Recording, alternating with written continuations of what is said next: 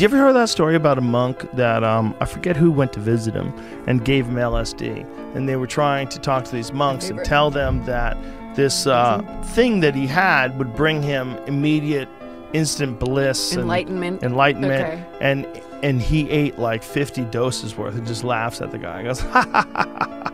Yeah. Like it didn't even work on him. Wow.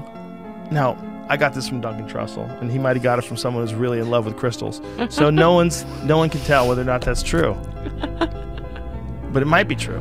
Man. It's fun to think to some guy out there that doesn't have sex, that eats only tofu, and he's just breathing all day.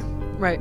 And you give him an acid, and he doesn't even blink. Well, I actually, I- know of a couple people that have this, you know, the immense capacity of meditation that is, I would say, on par with psychedelics and acid and all that stuff. And no, I think so too.